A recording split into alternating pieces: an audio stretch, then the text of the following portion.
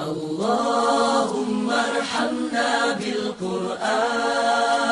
بالقرآن واجعله لنا إماما ونورا Ulamas and scholars and the people of Quran who study Quran, they have revealed about four to five miracles in Surah Isra, Surah number 17. But I say that the Surah 17 contains 111 verses.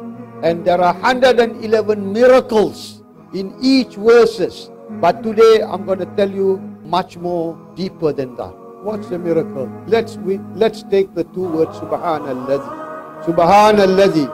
Purified is tasbih from the time we wake up until we sleep 24 hours duration of the period.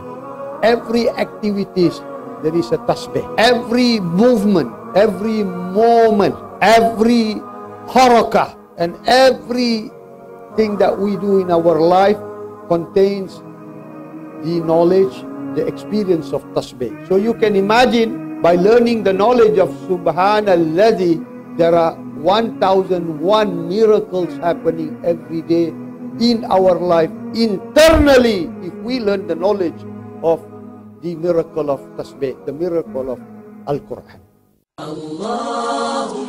وارحمنا بالقرآن